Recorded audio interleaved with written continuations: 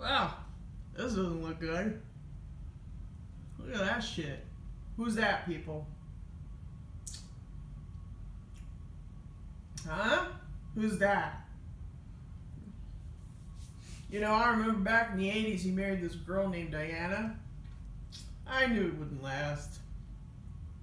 Yeah. Guess who he's handshaking with? Look at that shit. Interpol? Not good.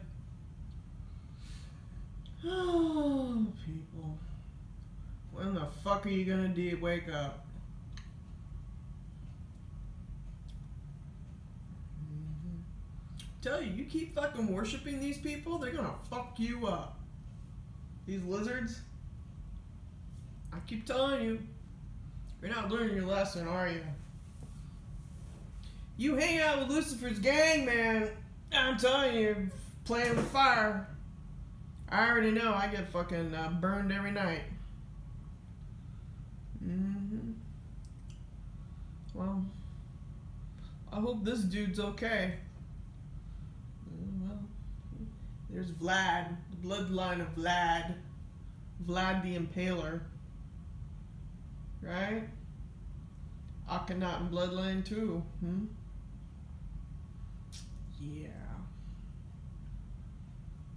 You got you people need to like fucking wake up, man. You know, you deal with these lizards, you're gonna be. be I'm, sure, they got all the money and the gold. They got the fancy cars.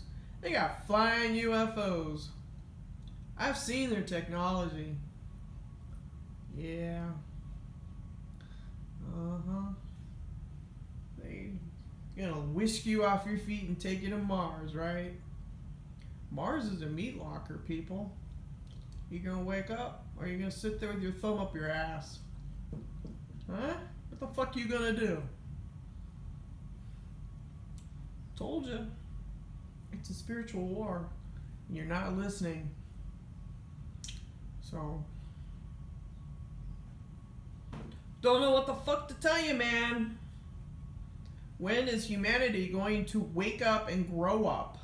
The Freemasons, look at that fucking handshake, man. Look at that shit. Got his thumb on the pulse. See that shit? Mm-hmm. Do you see that shit, people? You got the fucking Interpol flag behind them.